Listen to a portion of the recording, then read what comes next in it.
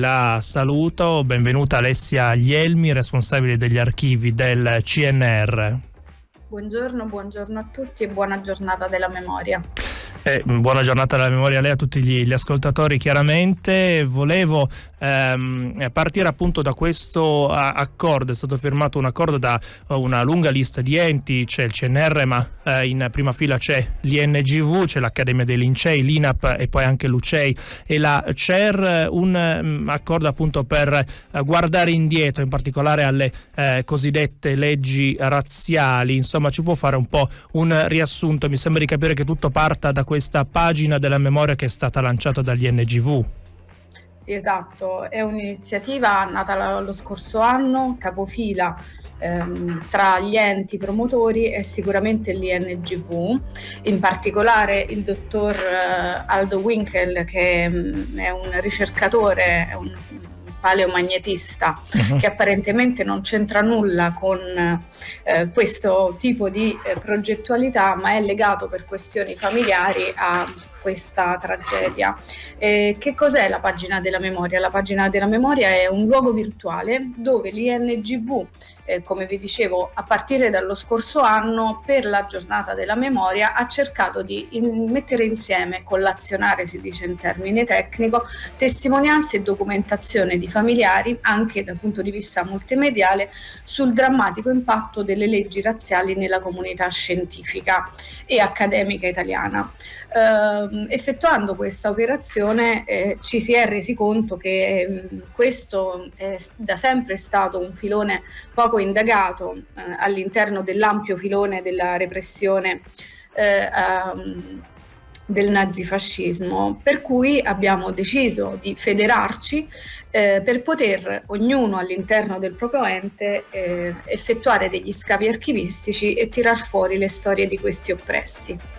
E eh, volevo appunto anche un po' mm, capire se, insomma, immagino che la risposta a questa domanda, se dovessimo farla per bene, durerebbe giorni e giorni, ma ci può provare a fare un po' una disamina di quale fu effettivamente eh, l'impatto delle leggi razziali sulla scienza, cioè di che cosa stiamo parlando? Sì, parliamo di un odioso decreto, come io lo definisco, il Reggio Decreto del 17 novembre del 1938,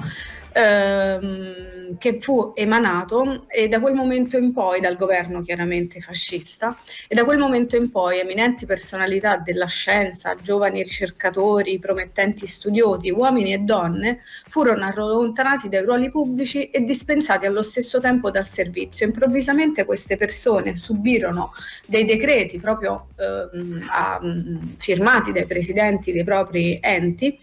per cui vennero espulsi, eh, vennero sospesi dal servizio, dallo stipendio, vennero espulsi anche dai luoghi in cui eh, prestavano lavoro, vennero praticamente tagliati tutti i ponti dal punto di vista scientifico ed accademico. Intere comunità scientifiche vennero eh, dimezzate, distrutte e il progetto intende proprio raccogliere queste testimonianze crude eh, che provengono spesso da archivi burocratici, i quali vanno letti in in maniera un po' più approfondita perché ad un decreto di espulsione eh, che parla in burocratese eh, bisogna attribuire una valenza in realtà politica eh, che era appunto la volontà di espellere quello scienziato, uomo o donna che sia, dal, sua, dal suo ambito scientifico. E eh, ha citato appunto eh, il fatto del coinvolgimento delle, delle, donne, mi sembra che questo sia un elemento eh, particolare che spicca Winkler nel, nel, nel comunicato, parla proprio in particolare dell'esclusione di donne, come mai eh, spicca in, in questo modo? Esatto, perché tra le persone allontanate diciamo, dalle istituzioni culturali e scientifiche ci sono moltissime donne, questo dai primi risultati ce ne siamo resi conto immediatamente. Era una, una vita quella delle donne eh, che partecipavano attivamente nella, agli studi, alle accademie, nella società ebraica ed erano all'avanguardia Mm, rispetto alle consuetudini dell'epoca, nella giornata della memoria, cioè oggi, il CNR ha eh, creato una sorta di videoclip mm, in memoria eh, di mm, questa orribile eh, vicenda. E eh, abbiamo proprio preso a modello la mh, biografia, una piccola biografia ricostruita di Anita Provenzal ed era una delle donne eh, sulle quali ricadde il provvedimento di espulsione, era figlia di Giulio Provenzal, chimico celebre e divulgatore scientifico, era una raffinatissima disegnatrice che improvvisamente, così come il padre, solo perché appartenente alla razza ebraica, così si legge dai documenti, venne espulsa dal CNR, era una dipendente CNR. Non si, sebbene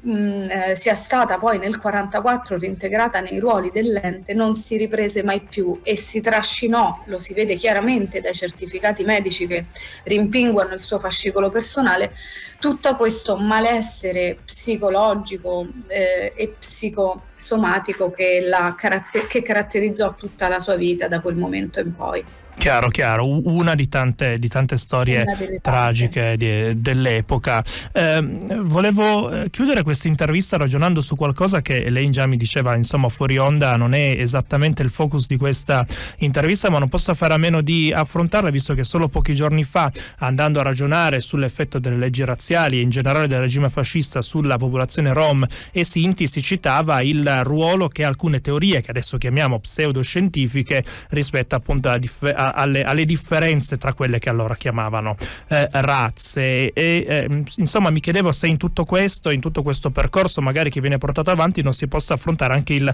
ruolo della scienza nel perpetrare questi pregiudizi, ovviamente eh, all'epoca, quindi non soltanto appunto l'esclusione di ricercatori, di accademici dal mondo eh, appunto eh, del, de, dell'Italia dell'epoca, ma anche insomma un po' una presa di responsabilità rispetto ad una parte del mondo scientifico che allora ecco, eh, portò avanti questo tipo di teorie. Guardi, la mia convinzione su questo è che la memoria ovviamente non ha un'importanza solo celebrativa, altrimenti durerebbe pochissimo il tempo di,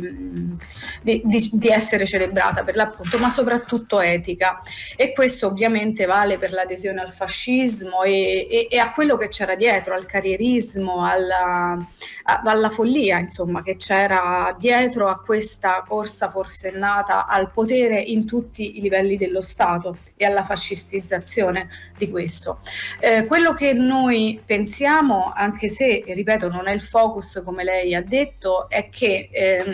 nell'ambito della ricerca, come già sta emergendo da questi primissimi passi, si delineeranno sicuramente in maniera indiretta le responsabilità legate alla connivenza con il regime fascista di alcune, ma eh, sono anche felice di dire che stanno emergendo ehm, nominative e storie di scienziati e studiosi che invece fecero il contrario, ossia offrirono il loro contributo alla lotta all'oppressione eh, nazifascista e così come anche alla resistenza.